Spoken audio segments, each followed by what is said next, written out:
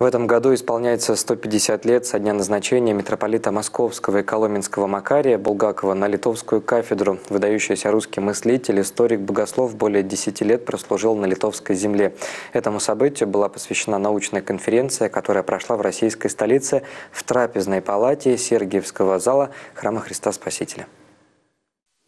Председатель Макаревского фонда митрополит Ташкентский и Узбекистанский Викентий открыл конференцию и зачитал приветственное слово святейшего патриарха Кирилла, в котором говорилось о трудах митрополита Макария Булгакова.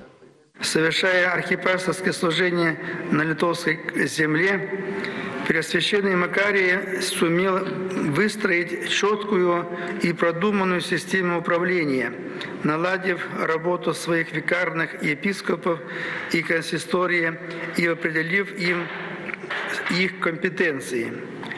Особое внимание Владыка уделял развитию богословского образования в епархии. На территории веренного ему церковного удела действовало шесть духовных учебных заведений.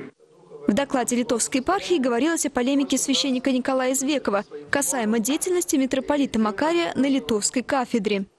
Дело в том, что священник Николай Извеков, он так тенденциозно очень.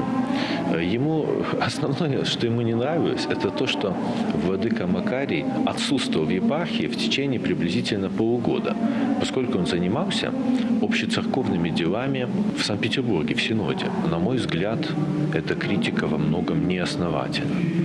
Потому что Владыка Макарий, конечно, был выдающийся церковный ученый.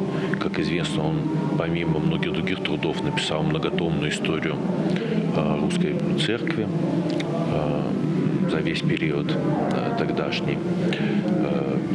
Он участвует очень плодотворно в работе Синода.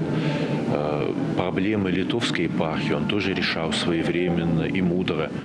Каждые два года в Москве проходит вручение Макаревской премии, учрежденной по завещанию владыки. Ею поощряются таланты из России, посвящающие себя науке.